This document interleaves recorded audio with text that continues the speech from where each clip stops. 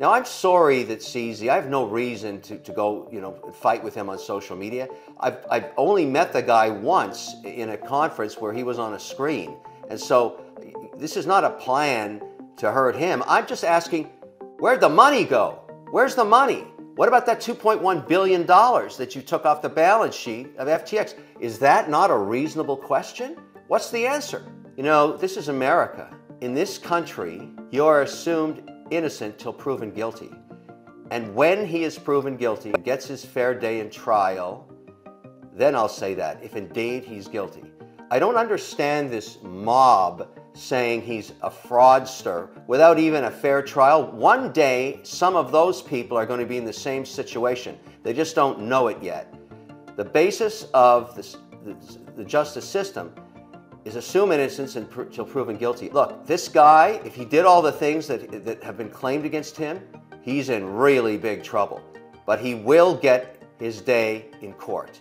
And then after that, after it's proven and after it's a fact, we can talk about it. But I'm not going to run around ahead of the, the, justice system. I have no idea what happened there yet. I need to see the facts. And frankly, no does anybody else. We got to get we got to get John Ray to get the records out here. All of these allegations. Look, I understand why people are unhappy. I get it. But there is a due process. And so I stand up for anybody, anywhere, eh, beyond Sam Bankman Fried. You are innocent until proven guilty. Anybody, anybody in America. You don't like it? Too bad. I've been a venture investor for 30 years. You make about 10 investments, Eight of them are going to fail, and two of them are unicorns, and pay for all of the grief and misery of the ones you failed on. You ask why did people invest in FTX? It looked like a unicorn. No amount of due diligence on the eight losing companies in venture investing is going to stop them from failing. Doesn't matter.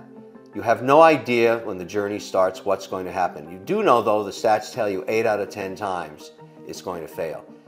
That's how, that's how it was in 1950s. That's how it is today. So Venture investing is risky.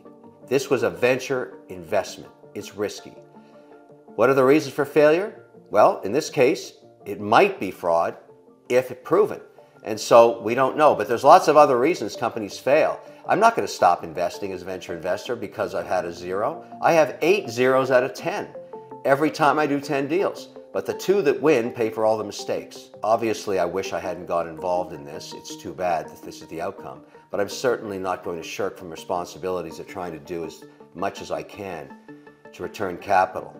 And anything I can do, and I'm very fortunate to have resources, I'm going to. But that's all I can do. What else can I do? I mean, I have to actually face this, deal with all this, and then go forward. And I'm going to remain an investor. I'm going to remain transparent, and if called back to testify, I will. This is a journey. We haven't started even the first mile of it yet. Look, we've all been sued, all of us. We all feel like idiots. We all have egg on our face.